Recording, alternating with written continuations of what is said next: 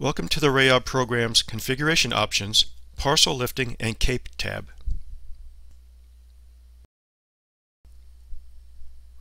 Before beginning, note that all options on this panel are available to the RAOB Basic program except one option. This option is the Multiple Prompt and Multiple Overlays feature, which requires the optional Hodograph and Interactive module. Because of its many unique features, it has its own video, which can be found under the Hodograph and Interactive Modules section. Therefore, it will not be demonstrated here, other than to say that it can lift any parcel on the sounding, or any layer within the sounding, or even the entire sounding up or down. So let's get started with the lifted parcel level section. Here you can choose from three popular methods, where RAOB will simulate lifting of an air parcel, which is then used to measure the convective potential of the atmosphere. So let's review each method and then see example plots. First is the default or surface method, where the parcel is always selected from the surface level. The SB CAPE text means surface-based CAPE, which refers to how CAPE is eventually calculated, and which will be discussed a little later. The second option is the most unstable method, or the MU CAPE method, and as indicated in the description box below, this most unstable method is also referred to as the best level lifting parcel, since it is determined from the most unstable point on the sounding profile, where the most unstable point is defined as the level having the highest wet bulb potential temperature, but more on that later.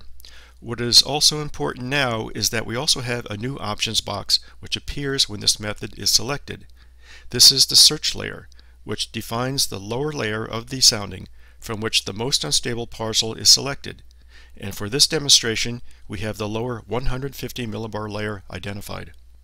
The third option is the mean layer method, or the ML CAPE option. This parcel is found by averaging the mean temperature and dew points of the specified layer. This layer is defined by the adjacent mean lower layer box, where 100 millibars has already been entered. Please note that this mean lower layer value has a dual purpose. It is also used to calculate the CCL, or convective condensation level, using the same 100 millibar lower layer.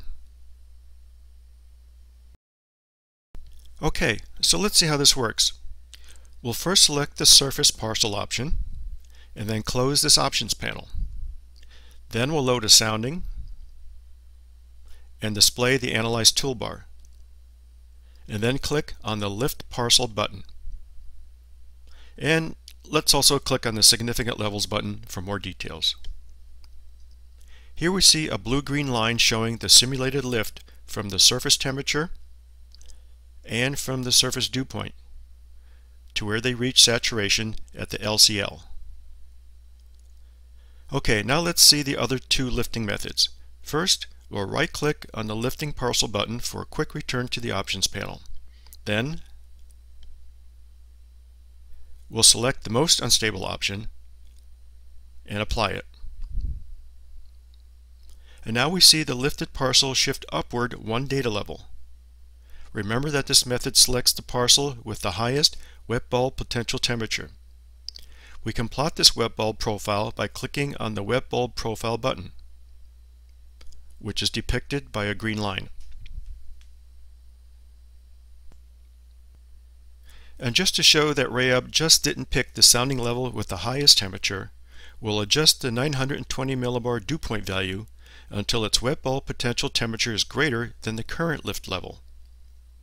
And there, the lift level has jumped up to the 920 millibar level. So now we'll hit the Restore menu then recall the toolbar so we can turn off the wet bulb profile.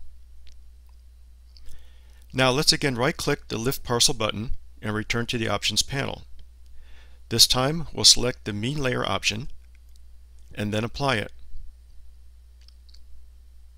Now we see the lifted parcel has jumped up to about the 950 millibar level. And just to show that RAOB actually calculated the mean temperature and dew point values, and just didn't pick the averaged millibar level, we'll increase one of the low level temperature points and watch that lifted parcel shift to the right. And we'll do the same for a dew point temperature and watch its parcel point shift. And there's our new artificially induced parcel lift data. Okay, let's restore the sounding data and then refresh the screen and then get back to the options panel. Now we'll look at the CAPE section, where CAPE stands for Convective Available Potential Energy. First, we'll demonstrate the CAPE base level option. This determines the base of the positive CAPE calculations. The base can be either the LFC or the CCL levels, where the LFC is the default method. This can be shown graphically, so we'll close this options panel, where we now see a different sounding plotted, which is needed for this demonstration. Now let's display the toolbar and click the Significant Levels button to see the LFC and the CCL locations. Now we'll click the CAPE button and see where the positive CAPE region, which is shown in red, begins at the LFC level. Note also that the blue colored region is called the negative CAPE or the CIN region. Both the positive and negative CAPE values can be seen in the soundings data listing, including the CAPE total value. Okay, now we'll right-click the CAPE button to access the options panel, where we'll now select the CCL base level option and apply it. And now we see the positive CAPE region starting at the CCL level. And in the soundings data listing, you'll see the CAPE values have increased. So let's close the toolbar and refresh the screen and return back to the options panel by pressing the F9 key.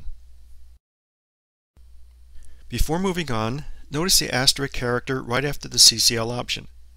There's a corresponding asterisk following the surface parcel lifting level option. This means that the CCL CAPE base level option can only be used with the surface lifted parcel option. And if you select any other lifted parcel option, like the mean layer mode, the CAPE base level selection will automatically switch back to the LFC mode like this. Okay, now let's look at the temperature base section, where we have dry bulb and virtual temperature options.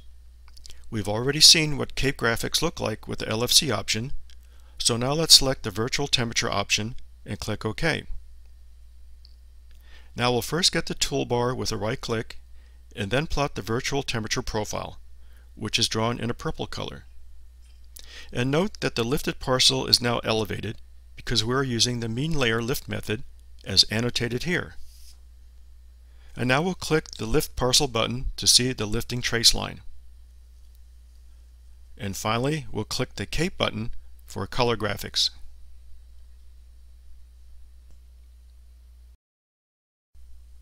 Okay, we're back to the options panel. Well, we'll now look at the CAPE depth section.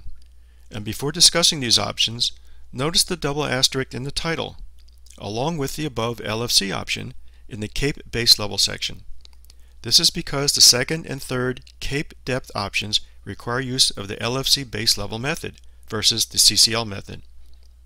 So let's move on and just plot CAPE with the default total depth option and close the options panel.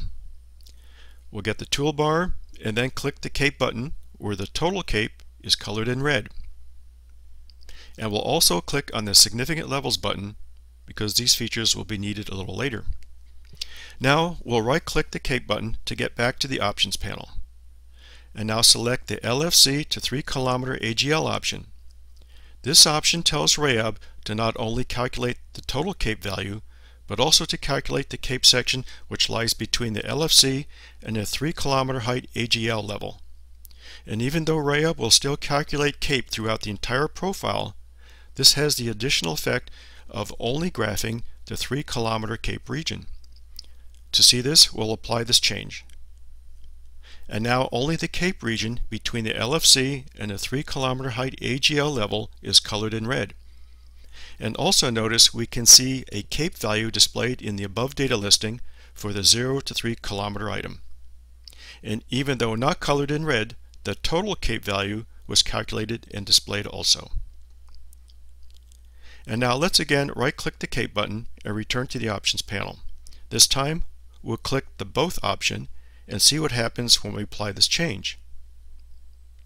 The 0 to 3 kilometer region is still colored in red but now the remaining positive CAPE region is shaded in a rose color for visual differentiation purposes.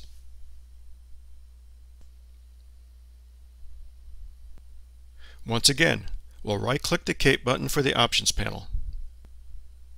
And now we'll look at the MPL or Maximum Parcel Level option. By activating this option, RAOB will extend the parcel lift trace until the positive and negative CAPE values cancel each other out. The top of this lift trace represents the maximum potential height of convective cloud tops. So now let's apply this option. And here we not only see the extended parcel trace line, but RAOB also has colored this negatively buoyant region in a light blue color. Since this sounding only reached the 100 millibar level, we don't know how high the MPL region would have actually reached. And now, we'll once again right-click the Cape button. This time we'll activate the Hail region option. This region is bounded by the minus 10 and minus 30 degree temperatures, and between the parcel trace and the sounding profile. Studies have shown that this region correlates to hail growth, where the larger the region, the greater the hail potential. So let's apply this option and see what it looks like. The Cape Hail region is colored in a light blue color, where we can see the minus 10 and minus 30 degree temperature boundaries. And notice that a Cape Hail value can be seen in the above data listing. And now we'll close the toolbar, refresh the screen, and call up the Options panel for the last time. Now we'll look at the DCAPE section. DCAPE is neither positive nor negative CAPE. It is instead downdraft CAPE. The coldest wet bulb temperature option is the fastest method, but it tends to over-forecast DCAPE. The average wet bulb temperature method is the default option as it produces good results with very little impact to processing time. The density weighted average option is the most accurate method, but it is very slow because of the thousands of extra calculations needed to produce this value. This option will definitely slow down RAOB processing during file looping and other multi-sounding functions. So if this value is not important to you, it is best to use the other two options. But for demonstration purposes, let's show an example. So we'll now select the density weighted option and then apply it. Notice that there was no noticeable delay in sounding processing. This is because this is a low density sounding. However, we'll now load a high density sounding and watch what happens.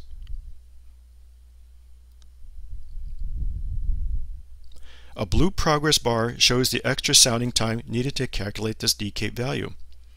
This high density sounding contains 2,209 data levels. So let's reload this sounding one more time.